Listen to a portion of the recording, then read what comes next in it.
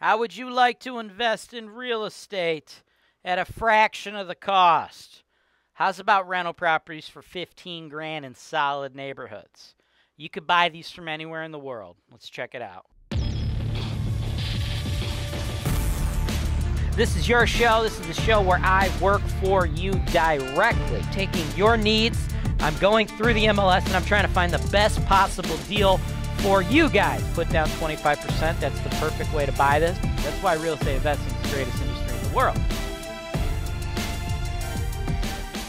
Welcome to the show, folks. Today's show is for my dude Terry. And Terry, bro, I got another one for you, man. Nice little market. I know you like this market based on previous discussions. You are going to love this one, bro.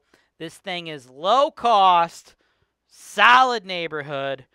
Got your name on it, bro. I think this one is the deal for you. Let's check out the numbers. Man, I hate those other real estate gurus out there. Those real estate gurus that lead you guys to believe fairy tales, lead you guys to believe in magic, lead you guys to think that there's going to be genies granting your wishes if you buy their course or their program. Like there's going to be hot girls in bikinis just popping out. That's not the real life of a real estate investor. And here on Holton Wise TV, we give it to you straight. Welcome back, folks. Let's pull up the numbers. Number, number, number, number, number, number 1247 West 17th, Lorain, Ohio. Love this little town, folks. How many of you have heard of Lorain, Ohio? Probably none ya, right? None ya, unless you're a frequent flyer here on Holton Wise TV, right? when people Google the best cash flow markets, Cleveland comes up, right?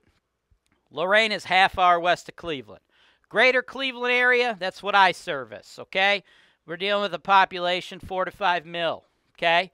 The city of Cleveland, which gets all the attention Cleveland Cavs, Cleveland Browns, Cleveland Guardians or Indians, LeBron James, you know, everybody thinks about Cleveland. Only like 340,000 people, right? So Cleveland is a very small little lightning uh, lightning rod in the grand scheme of things, right?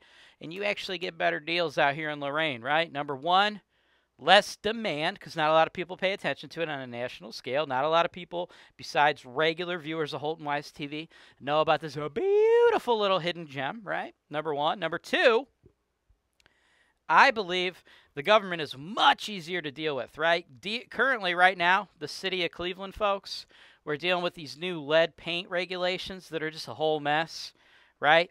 Uh, people going through these new uh, lead paint uh, processes. It's very convoluted, very confusing process. As a matter of fact, I made a half hour long video about it. So if you're going to invest in the Cleveland market, you better know and understand that process because it's changed the way we do business in this market. I've linked to it below after this show. Watch it. Uh, what I'm advising a lot of my clients to do is hold back on rentals in the city of Cleveland and have not gone through the process once. Okay, we need to get the first ones out of the way, get the understanding of how this process is going to work, right? Because some big repairs could be coming uh, on the first round. After that, shouldn't be a big deal. But that first round, y'all better hold back and let's invest in some other spots where you know the government's you know got an idea what's going on. They're not running around like crazy like Cleveland right now, right? So Lorain, Lorain's nice to deal with. In this house, just the two photos, right? Because they got a long-term tenant in there. They've been paying seven hundo, but guess what? the market rent's a lot higher, right? This is actually an eleven hundred dollar rental, man. We can get Section Eight tenants paying eleven for a house like this. Now they're asking sixty nine. It's been on the market forever. Doesn't mean we get to like lowball, lowball. It's one of those scenarios where it's not really like being amazingly marketed. Number one, number two, not a lot of people pay attention to Lorain. Number three, I believe the seller's sitting kind of firm. So we're going to try to beat them up a little bit, but I think the best case scenario here would be us getting a $9,000 discount. I'd like to try to pick it up for you at 60. If we could do that, by the time you get the tenant up to market rent, you're looking at an NOI on average about 7 G's a year, man. And then, and then when you go ahead and finance the sucker, all you need is 15 grand, right? That's why people come to the Cleveland market, come to this market, have my company help them find the assets, analyze the assets, do the property management, do the maintenance, do the construction, do the insurance. All you need is 15 grand. And guess what? I got lenders for you to give you the other 45, right? So that would project out to a long-term investment about 32%. Now, Just so you know, though, that would be contingent on us getting the tenant from 7 to 11. It's not going to happen overnight. You want to slowly raise them up. If you just go, hey, man, your rent was 7, it's 11, or you got to get the hell out, they're probably going to get the hell out, right? So what I'd like to do, maybe go 750, then 850, then 950. Do it slowly, right? Because if they turn over, we don't have any photos, but I've been in this game a long time. Long time. I'll tell you what the inside of that house looks like. The inside of that house looks like a house that you need to do a tenant turnover. You don't get to just go in there, sweep up, and then put it on the market for rent at 1100 No, no, no, no. Long, long term tenant, below market rent, dude. We're repainting it. If there's carpets, we're replacing them, putting vinyl down, or refinishing hardwoods. We're probably doing kitchen and bath fixtures too. Home Depot, Lowe's quality stuff, right?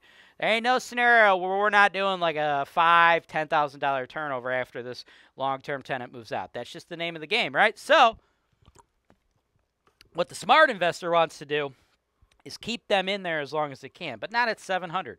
We got to slowly raise that up. And if we could do so appropriately without them moving out, without us creating an artificial turnover, you're making a friggin' killing. If they do move out, hey, it's the name of the game. We renovate the property, do the turn, get new tenants in there, make money, move on. Only 15K is needed. Great little area. I consider it like a C grade neighborhood. For more info on what I mean when I say C grade neighborhood, check out the Ultimate Guide to Grading Cleveland Neighborhoods. It's in the notes below. Also, this little area right here, two new naval bases are being built, okay? It's going to add thousands of jobs to this area. You take a sleepy little town like this that ain't nobody heard of, and you put thousands of jobs, you inject that into this area, you know what you get? You know what housing does? It increases in demand. You know what happens when it increases in demand? The money goes up! Both rental, pricing, and resale value, folks. This deal, banger! Let's go. Thanks for watching. Subscribe to Holton Wise TV for more financial information, education, and entertainment.